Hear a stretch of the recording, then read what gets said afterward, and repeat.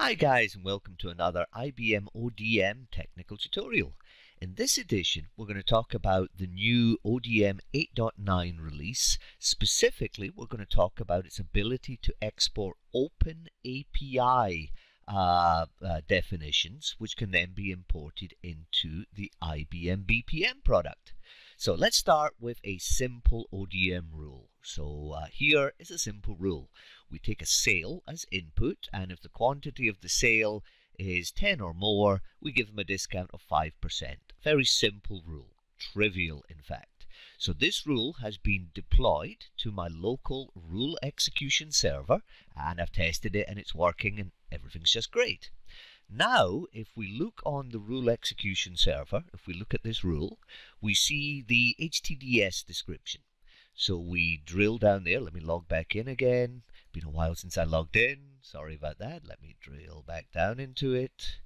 Uh, nearly there, nearly there. Let's get back to the description.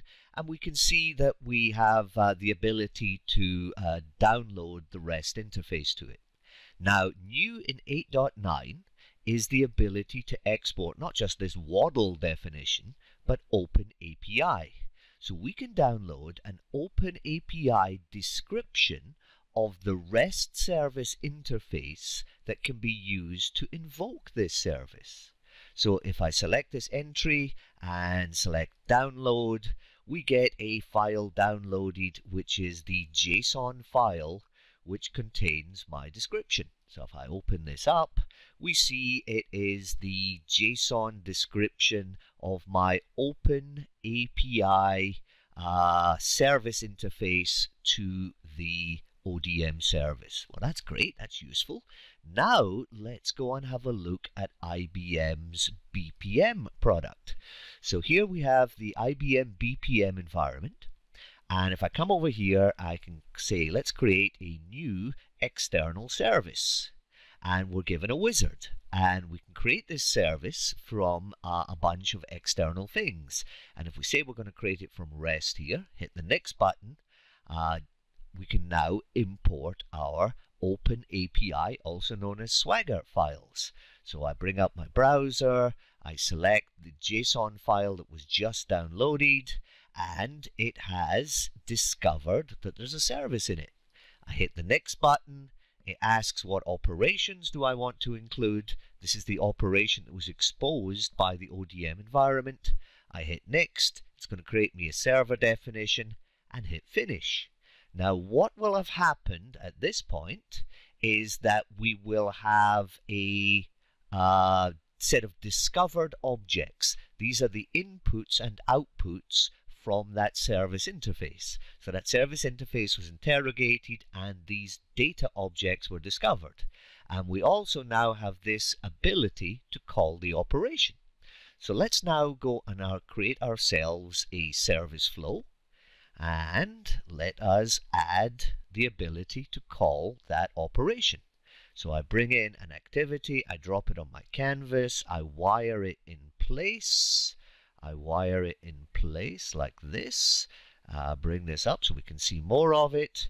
Click on this service, select its implementation, select its implementation as being the newly discovered ODM service that was discovered from the uh, uh, OpenAPI document. Select the operation I want to call, done, and we now see that there is data mapping that needs to be filled in. So for this service to run, we need to supply input for the request, and we need to supply input for the response and error. So let's go and create ourselves some data definitions. So we go to variables, and I need uh, three variables. I need a request variable, I need a response variable, and I need an error variable. Now I need to set the data types in this. So request will be of the request data type. Response will be of the response data type. And error will be of the, unsurprisingly, error data type. Great. So I've now created these three variables. Let's initialize the request, give it a default value, and we'll say we're going to be ordering red things and we're going to order 20 of them. Great. So now I've given the input, the request data, some initial values, and now we should be ready to run this. So if I hit the uh, debug run inspector button, uh, we're stepping through our service, step over this, and we've got an error. Isn't that wonderful? We got an error. Let me pause here.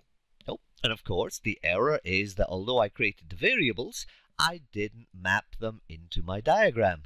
So back to my diagram, select my service, and map the variables. Map the variables. Yeah, that was a little dumb.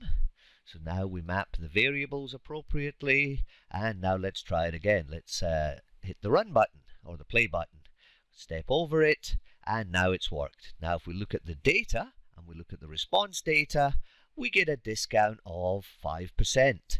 So the way this worked was the BPM process ran, it reached this step in the process. This step in the process was mapped to an open API description whose implementation is unknown to BPM. The open API description was exported from ODM and that ODM service description caused the rule to run. By importing this into BPM, we now have automatic interrogation of the variables. If I come back and change my variables, let's say I'm not ordering 20 widgets, let's say I'm ordering 5 widgets, and debug it again, and we're stepping through the process, and then at the end, the discount will be hopefully zero. So that shows that our rule is firing correctly. And that, my friends, is really what I wanted to show you from this simple tutorial, that we have the capability to export uh, Open API JSON definitions. We can download them to a file, and then we can import those Open API definitions as a new uh, external service and uh, through that wizard it creates all the definitions that we need in order to be able to call that black box service. I hope you found this useful and I look forward to making more of these tutorials in the future. Thanks guys and bye bye.